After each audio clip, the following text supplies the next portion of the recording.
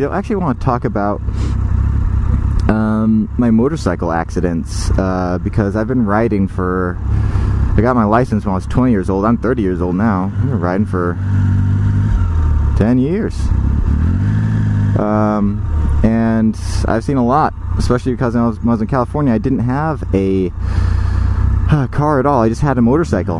Um, so I commuted on it. I got my groceries on it. I went on dates on it. Um, yeah, it's that's all I had, and so I got real used to riding on a motorcycle. Uh, in fact, I've been in two major motorcycle accidents in my life. Um, the first one was when I was driving to work one morning, um, and I was driving on a road like this, where I'm going about 35 miles an hour, and it was a four lane road exactly like this actually but it was in uh, Castro Valley in California. And I was following too closely. There was a car that was in front of me. I was following probably like like that maybe too closely.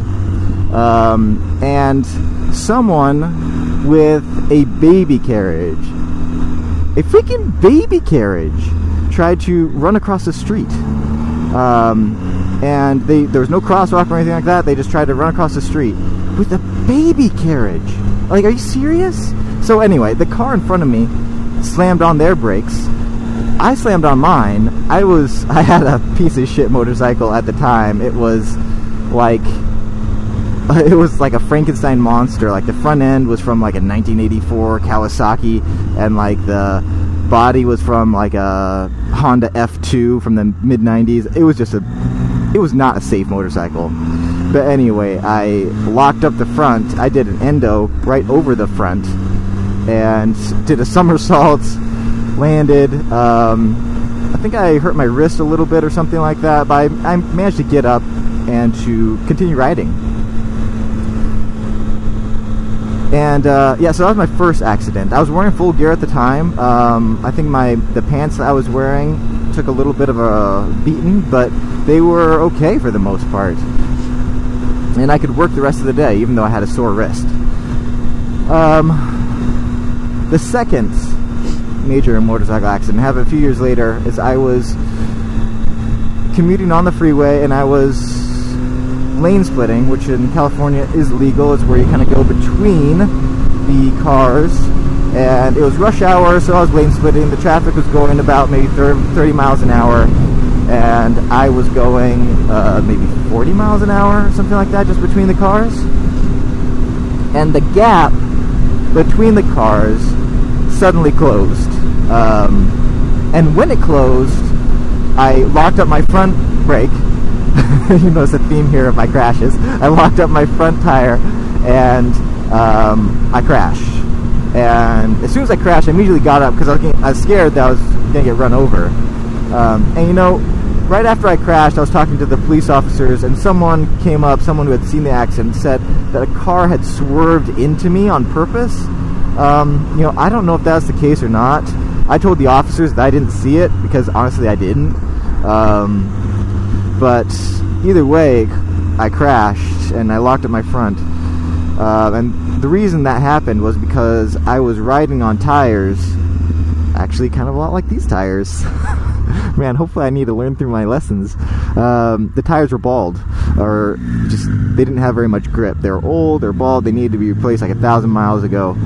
And um, I had also made the mistake of overinflating my front tire and underinflating my rear tire. I'd gotten the PSIs mixed up for those two, and so because my front tire was overinflated, because it was bald, because I didn't apply proper panic braking, um, I hadn't practiced my panic braking really at all since my motorcycle safety course.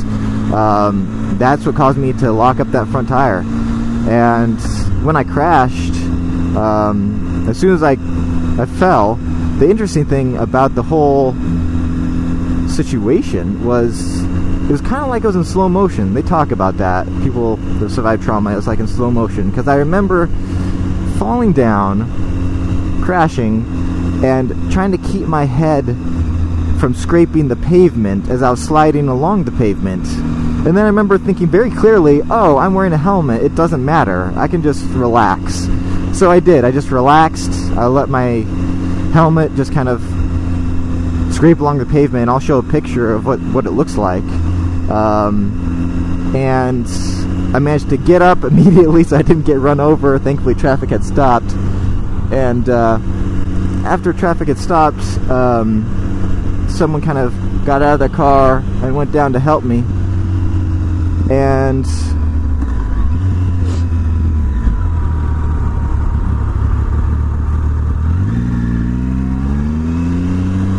um, after they went down to help me, uh, I asked them to kind of help me remove my my motorcycle jacket because my shoulder was hurting.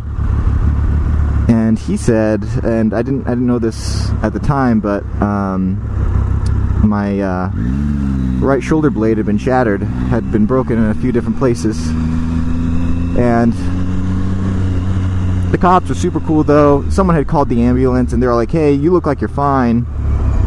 ambulance is going to cost a lot. If you want, someone else can come pick you up. We'll get your motorcycle later. And uh, so I had my girlfriend come pick me up at the time. And uh, yeah, as, as she, after she picked me up, about an hour had elapsed and my shoulder started really hurting. So I was like, you know, I need to go to the ER, I think. Went to the Stanford Medical Clinic Shout out to Stanford.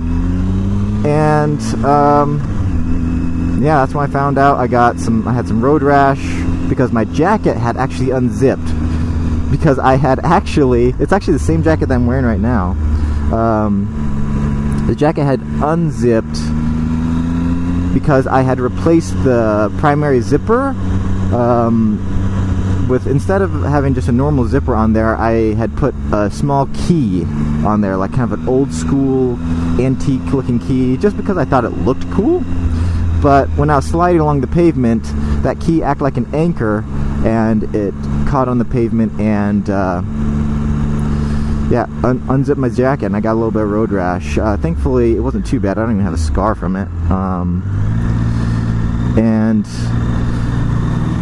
yeah, so that was my major motorcycle accident. And you know, I actually recorded a video right after that happened. I'll link to the video here. Um, I'll link to it in the description, and I'll also kind of uh, put a link just kind of up, an annotation, um, so you can kind of check out kind of what it was like.